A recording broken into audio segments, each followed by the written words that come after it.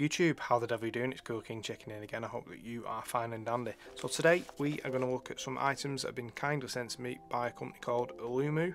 They're all mobile phone type accessories. So without further ado, let's get into it and have a look.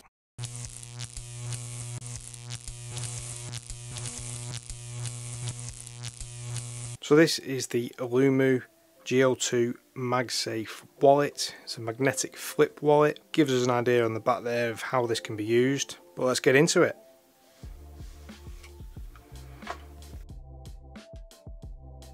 It's quite a simple design. It feels like a synthetic type rubberized material. This on the back feels quite soft but again synthetic rubberized feels softer than it does on the front now it is a three card wallet so I do have three cards here normal size sort of credit cards.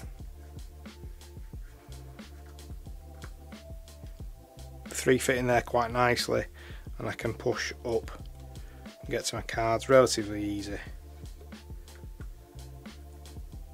But of course it is MagSafe so we want to see how good it is on the back of a phone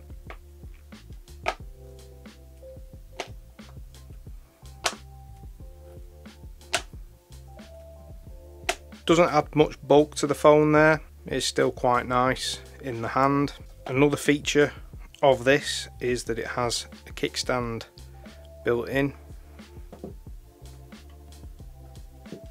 Which of course, if you turn the wallet the opposite way, it'll work in that orientation as well. But another feature that I haven't seen on anything else so this window here, if you had a, a photograph of a loved one or your family or whatever, you could display that photograph in that little thing inside your phone.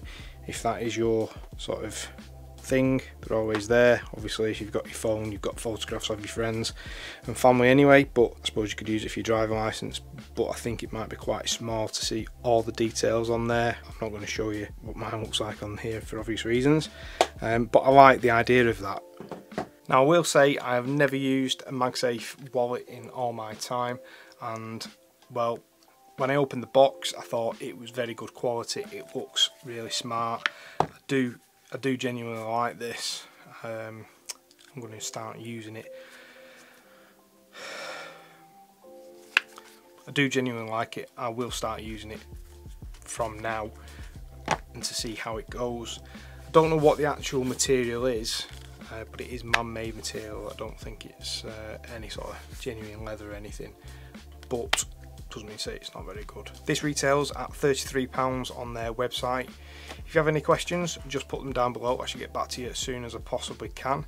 If you like this video, there is a button specifically for that. And if you're not a subscriber already, please consider doing so. Thanks for watching. Take care. See you on the next one.